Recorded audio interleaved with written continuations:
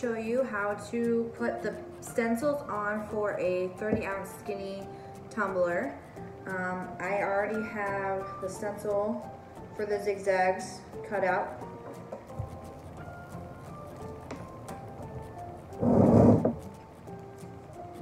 Then I'm going to place them on the bottom of the cup as evenly as I can.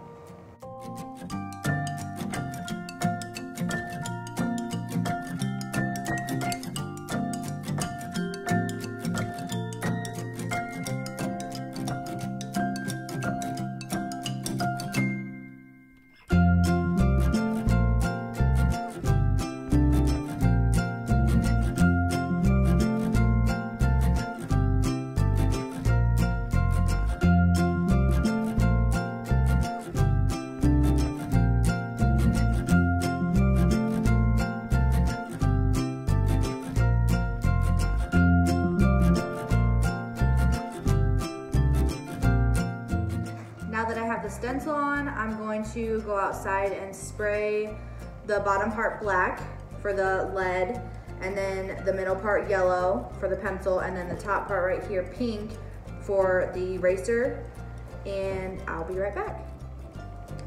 Okay, so now I have my cup spray painted. So now what I'm going to do is I'm going to use some adhesive to apply my glitter and I have glitter colors pink, silver, yellow, gold, and black and I kind of go in that order from the top of the cup to the bottom just so that um, it doesn't get all mixed and I don't have to worry about setting it down. So let's get started.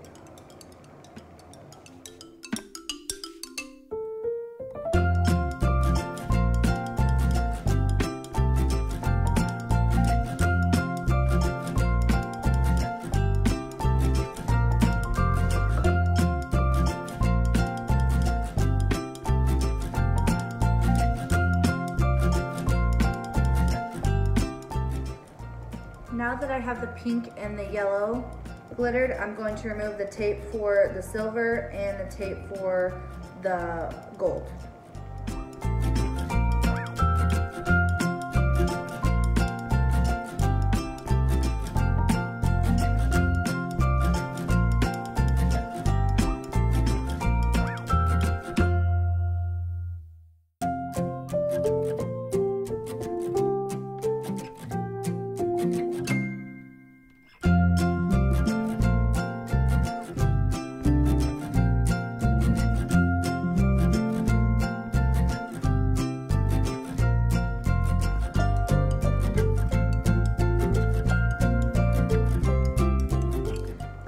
Now that I have all the layers of glitter on there, I'm going to let it, this dry for an hour or two, and then I'm going to seal it with this sealer about three or four times to make sure all the glitter's sealed in so that when I put epoxy on it, it doesn't move. And then once that's all dry, then I will go ahead and coat it with epoxy.